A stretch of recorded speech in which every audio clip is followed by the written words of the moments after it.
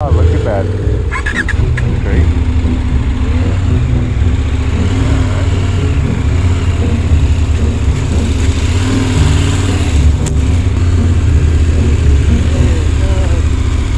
We got another 50 yards and he went and his Yeah. front tire just sunk, just the whole bike went front of it. I was like, whoa, dude, you're totally, you're stuck there. it's totally nice meeting you, but we're going to be on our way.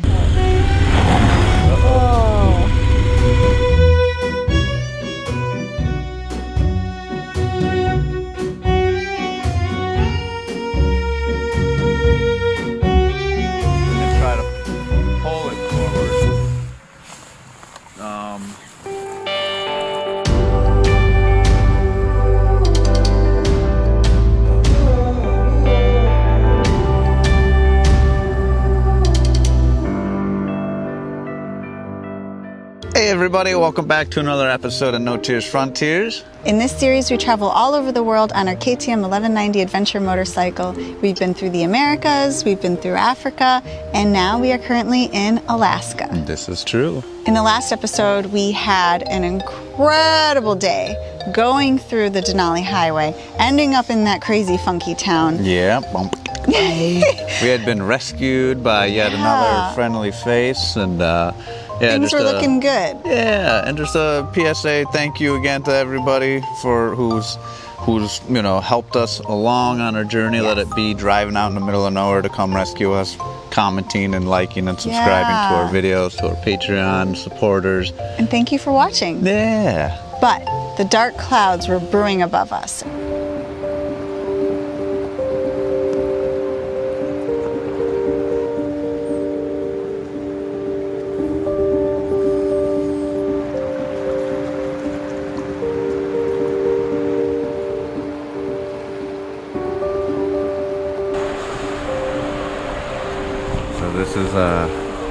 Denali viewing point, and as you can see, right there, you can't see Denali. It's too, it's too misty. But this has its own beauty to it, so it's very, very nice. It's a chilly, rainy day. Today, the ride through Hatcher Pass is supposed to be really pretty. We may not be able to see all of its glory due to cloud coverage, Yeah. but I think it'll still be a nice ride. No, We'll see. it'll be beautiful. Yeah. I always have Marisa, so Oh. always beautiful. Oh. and it was raining on us, but we really wanted to do this road that people had mentioned was so beautiful, but also it could be a little technical. So we were slightly concerned about the weather, but really excited to do Hatcher's Pass. Yeah. We were going to meet up with our friend Ryan, who we had seen all throughout our journeys through Alaska, going up to Deadhorse, uh, coming back down from Deadhorse. He had been with us when we were stuck over on the Denali Highway, Yeah. and now he was going to come out on his motorcycle. And he's got a 1290. He's got the Yes. big brother to my little 1190. Yes! So, pretty cool news here. Uh, we are currently packing up, as you can see, ready to head out to Hatcher Pass on our way over to Palmer, Alaska. Ryan and Laurel, who they have been helping us throughout this whole Alaska journey, they are going to hopefully meet us along the way and kind of tour guide us through Hatcher Pass. So he's going on a motor scooter, so it's just going to be him. Okay, so Ryan is going on the motorcycle. And yeah, so we've previously seen them in a vehicle, but Yeah. they are also motorcycle folk. So yeah, exciting stuff. He said, Meet me at this uh, coffee shop.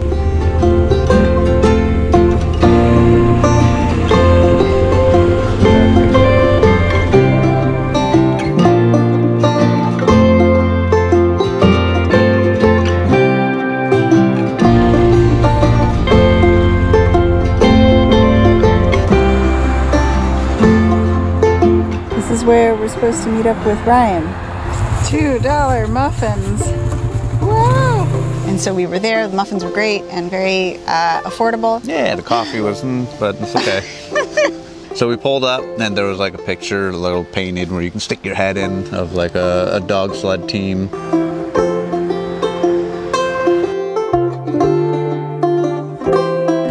Yay! I can hear that that KTM sound in the Yep. distance, and he came right up, and we were super, super excited to do Hatcher's Pass with him.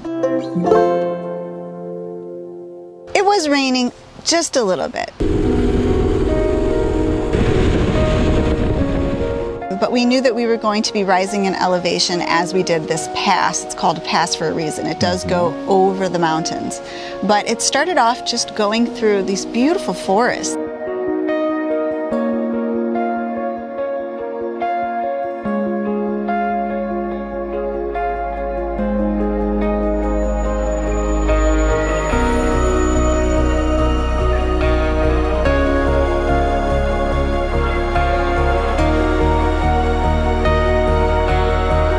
Usually passes are cut down by like, you know, rivers and things that saw the earth into, you know, little corridors. And you know, it was just amazing seeing these bubbling little brooks around Yeah. and through the through the trees you can just hear, you know, just nature at its finest.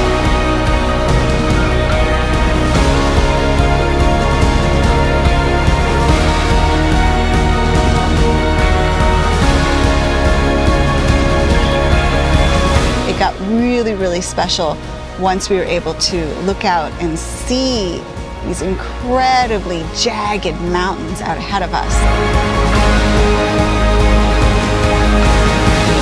And then we made our way into the mountains, and then, of course, the rain got more and more intense.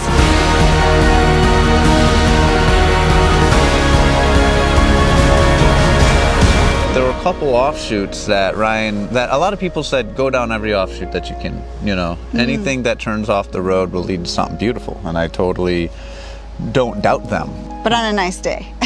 on a nice day, you know.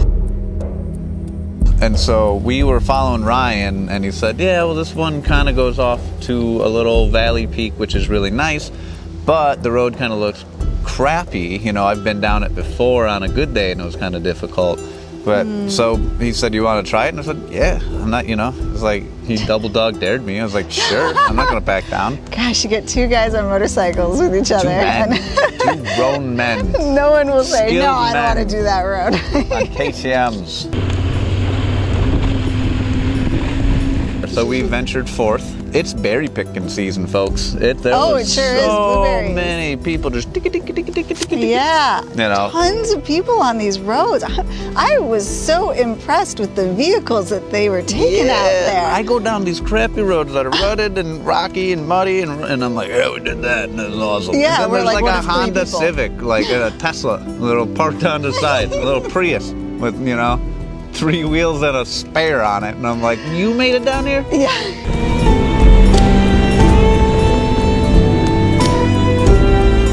Brian was in the lead, and we kind of get to like this really bad, like baby Yeah. diarrhea section of the road. Yeah.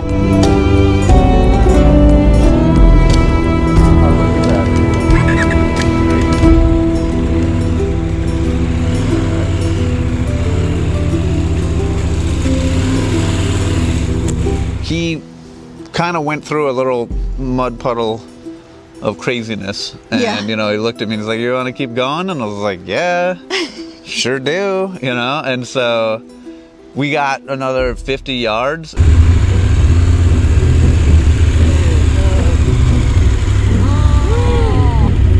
And he went, and his Yeah. front tire just sunk, just the whole bike went in front of it. I was like, whoa, dude, you're totally, you're stuck there.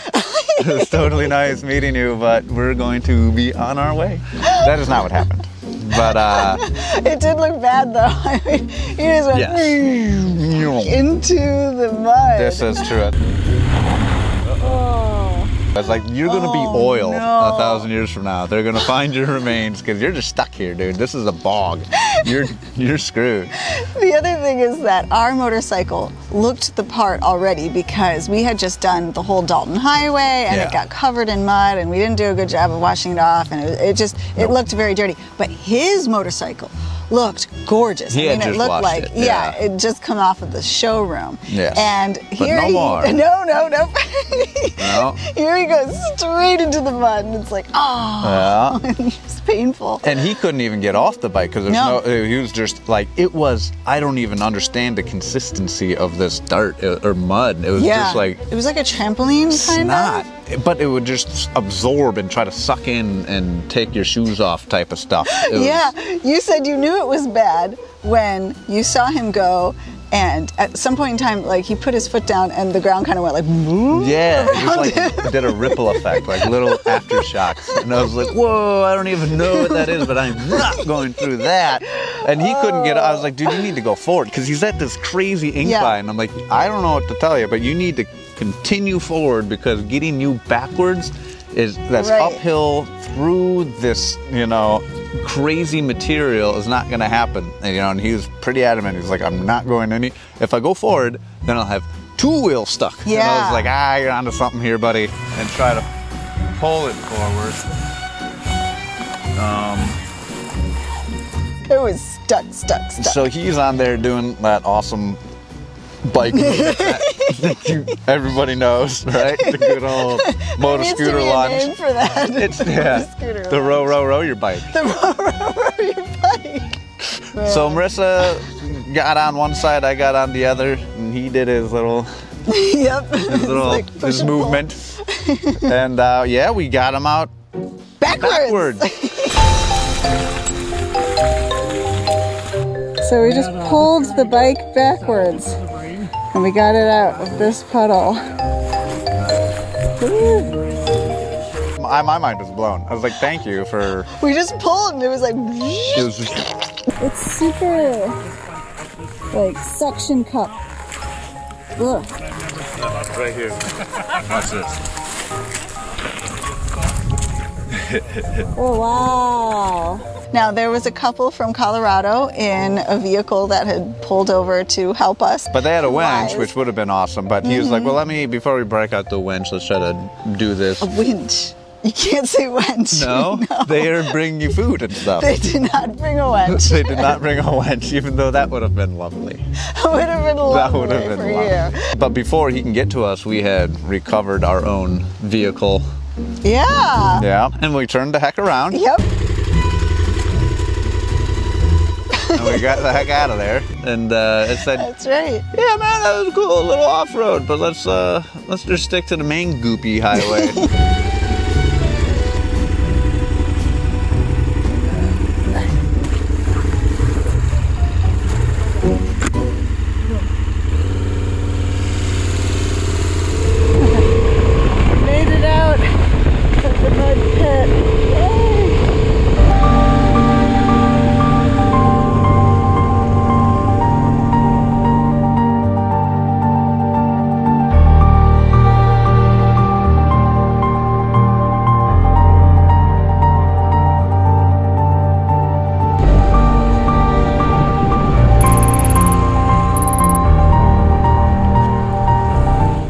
Summit Lake on Hatcher's Pass in Alaska.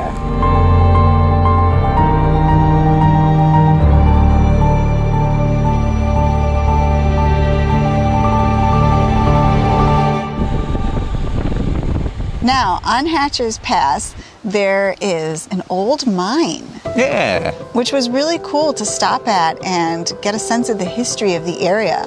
This is Independence Mine, and it's in a very beautiful spot.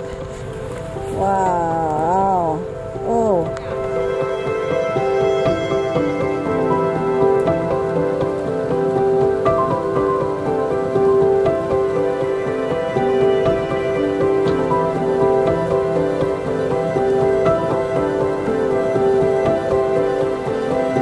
In fact, it was not just a mine and a workable mine until pretty recently in history, but it had created an entire town in that area. They had a schoolroom. This is true. They had kind of like the city hall. A lot of the mines had collapsed just recently Yeah, just in the past year. of the snowdrifts and stuff.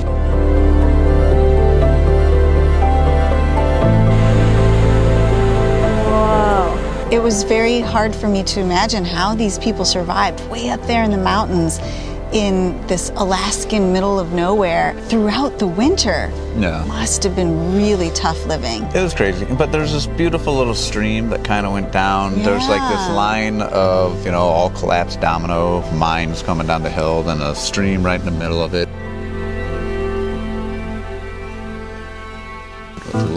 Bridge that went over it into a cool little museum where they had a, a chipmunk squisher. What was that thing called? Chipmunk Crusher. Yeah.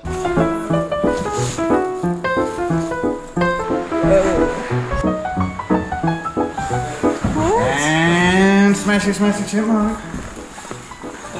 Oh, Chipmunk Crusher. Oh my gosh. Bad name, but uh, I, I'm not sure it I don't crushed think it crushed chipmunks. I No. think chipmunk was the name of something that was going on with the mining process. this is true. we wanted a beefier monoshock. Well, we found one here. After that, Ryan said that he was going to take back off. We said goodbye to him for the the last time, which is sad, but we are saying hi to you now, good sir.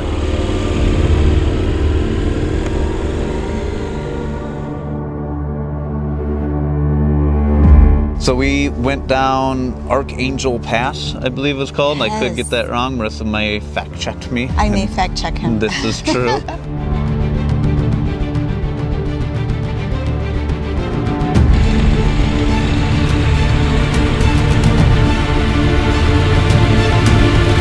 It was beautiful that we're crawling up into like this little corner armpit of this mountainside. Yes. This was more beautiful than an armpit. This little, Right. Yeah. But the road was also like mostly stones and stuff. And Not that goopy, muddy, no. I would have turned around. If it was Oh, baby poo poo number better. two, Baby poo-poo number two.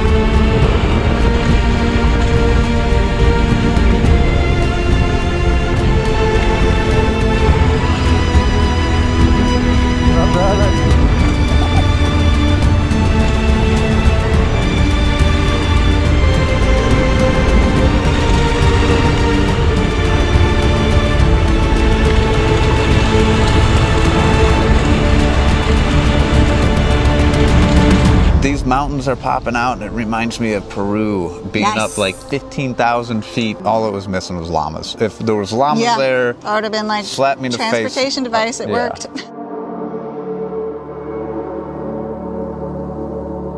but there's still blueberry people everywhere picking. Yeah. I'm like, how did they get here? Yeah.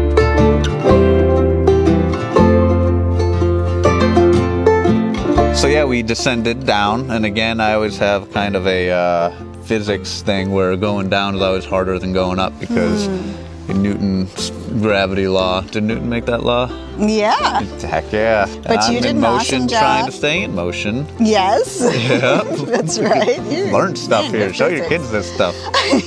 Show your kids this stuff. So we're we're making it down, bobbing around, and and we finally get out and we descend into this beautiful little town that is Palmer.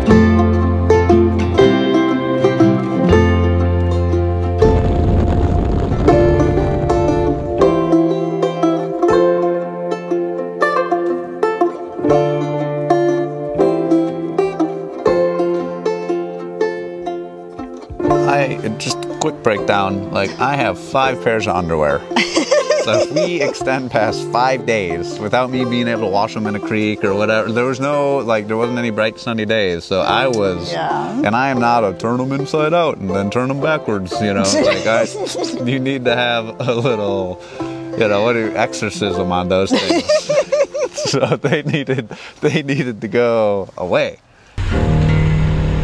And, and so yeah, we pulled into Palmer.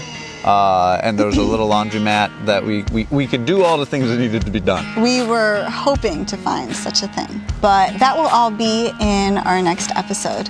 So thank you so much for watching this one, and I hope you liked it. If you did, please give us a big thumbs up and hit the subscribe button below. Ding ding. And we'll be seeing you next time. Stay safe, everybody. Bye. Peace. Suspension in and out. and in and out. It's an exercise. You get, you get how you build your, your quads and your abs.